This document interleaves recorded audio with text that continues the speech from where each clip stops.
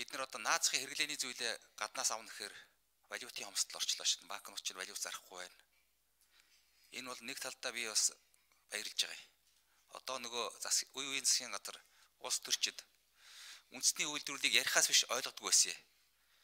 Одоо ойлгож ороор нь орж байгаа хаа гэж бодож байна. Үнэхээр бид нар өөрсдөө хийж болох, үйлдвэрлэж болох, ургуулж болох бүх юмаа бэлэнчлээд яон өрөвөл зараад валютаараа гадаас аваад л байсан. Тэрний гор өнөөдөр гарч байгаа юм.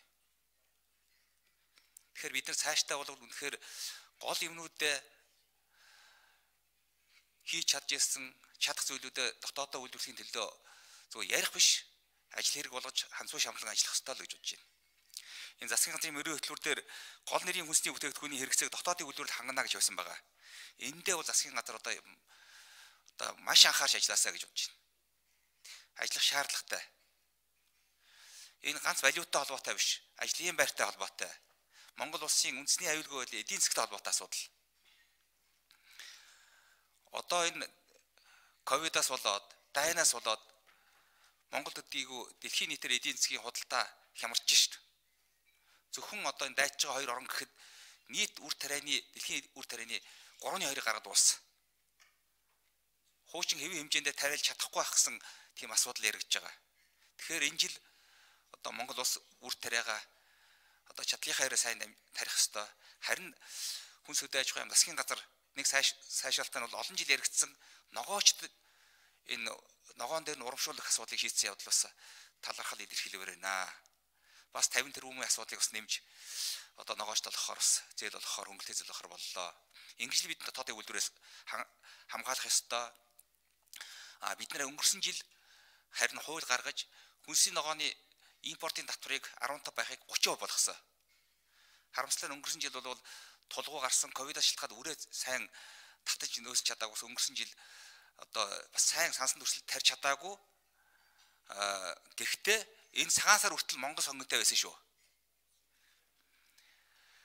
Тэгээ энэ жилийн хувьд бол одоо хэр үрийн хангалт таталтын хувьд ямар байгаа, тендер зарлалт нь ямар байгаа вэ? Хугацаанда тариалж энэ төр чадах уугүй юу? Эсгэл талаар энэ өдөөж хүн сайд хариулаач. Нодон бас хугацаа алдаж бас төлсөнгөний хувьд дээр орж ирсэн тал байгаа шүү гэдгийгс хэлье. Цаашдаа болвол одоо ганц хүнсийн ногоо өгөхгүй тос тос ургамлын тос өндгийг бид дотоодоос хангах боломжтой шүү дээ. Энийг мөнгө өгөхөөс гадна үйлчилж гайлын импортын татварыг бид нэмэх ёстой. 5%, 10% импортын татвар бол хамгаалж чадахгүй. 22 онд, 23 онд, 24 онд, 25 онд ийм ийм татвар тавина. Ингээ 30% өргөн, 40% өргөн. Ингэжээж үндэсний үйлдвэрлэл хамгаалагдана хөгжинэ. Дэлхийн худалдааны байгууллагад илсэн хоёр улс бүгд 30 40%-аас дээш бүр 65% хүртэл импортын татвартай байгаа. Манайх адилхан илсэн мөртөө бид Орос хятадтай адилхан 5% импортын татвар бус юм дээр ч гэсэн одоо хамгаалж чадахгүй байхгүй юу. Тэгэхээр энийг засгийн газар сангийн яам энэ татврын бодлого дээр бол үндэсний үйлдвэрээ бас зөвхөн мөнгө өгөөд яхтаа биш. Одоо сайн анхаарч бүр салбар салбараар нь одоо хийж болох юм дээр ингээ үшин чадвар тавих хэрэгтэй гэсэн саналыг бас хэлмээр байна. Хоёрдугаарт хүн сүдэж байгаа юмнаас асуухад энэ малын гаралтай түүхэд боловсруулах экспортлох үйлдвэр технологийн технологийн парк байгуулж ажлын байр шинээр болгоно гэж байгаа. Энэ дархны арь ширний одоо паркын байдал аж үйлдвэрийн паркын байдал ямар хөө байдалтай явж байна. Зураг төсвө тезүү нь одоо хийгдээд дуусж гэнэ үү? Гүйцэтгэл үйл ажиллагаа хизээ эхлэх гэж гэнэ үү? Хэрвээ энэ ороод ирвэл Монгол улс одоо энэ хувийн хвшилтэйгээ нийлээд бол энэ 100% үхрийн болон хоньны арьс шир ноос ноолуураа ноосоо дотоод боловсруулах юм боломжтой болно штэ гэдгийг бас хэлэх байна. Тэгээ энэ ийм асуултнууд дээр хариулаач ээ. За баярлалаа. 5 номер.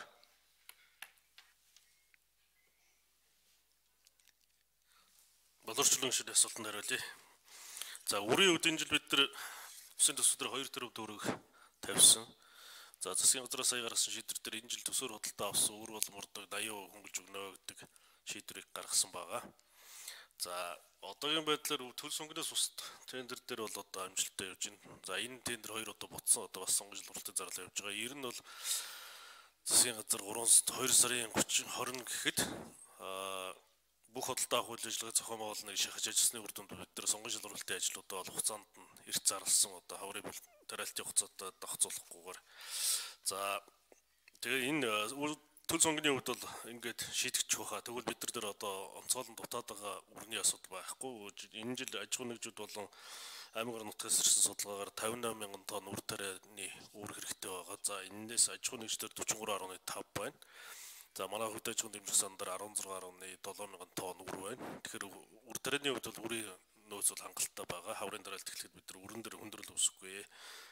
За Тэгээ хөдөөж хүн нөө хөнгөлтэй зээлүүдийг манай эргэлтийн зээлийг нөгөө технологийн хугацаанд үйл ажиллагаа явуулахын тулд ингээд засгийн газар шийдвэрлэж гаргасан байгаа. За дархантай холбоотой асуудал төр техник эдийн засгийн үндэслэл хийгээд гүйцэтгэж тал нь дууссан. Одоо барилгын зургийн ажил эхлүүлэх гэж байна. Зураг төслийн ажил. За энэ 4 сарын 10-ны дотор тэндээс төлөөлөгчдөр нь засгийн газар мөн одоо энэ их усур талд нь 54 төгрөгийг шийдвэрлэж өгсөн байгаа. Энэ Эрдэнтийн одоо Эрдэнэт үйлдвэрээс нэг байр ажлын хүрээнд одоо дотоодын үйлдвэрлэлийг дэмжих чиглэлээр ингэж 54 төгрөгийн их усрыг шийдвэрлэж өгсөн байгаа. За дархны техник эдийн засгийн үндэс дууссан. За одоо зураг төсөө хийгээд явчвал бид нар байгаль орчны үнэлгээ хийн. За мөн түнчлээ одоо хувийн шилүүдийн хийгээ басан дид үтсийн асуудлыг өнөөдрийн засгийн газрын оролдооноор хэрхэн шийдвэрлэх тал дээр одоо бас санал оруулж энэ ажлыг хэсэг гаргаж хөдөөж хуй ам за энэ хувийн шилүүдийн дархан дээр хийсэн дид үтсийн асуудлыг шийдвэрлэлтийн талаар хамтран шийдвэрлэх юм чиглэлийг өгсөн байгаа. За энэ ажлын явц гүйцэтгэл ийм хөвтэй байна. За гişүүдийн асуултанд засгийн газрынхан хариулт дууслаа. Одоо санал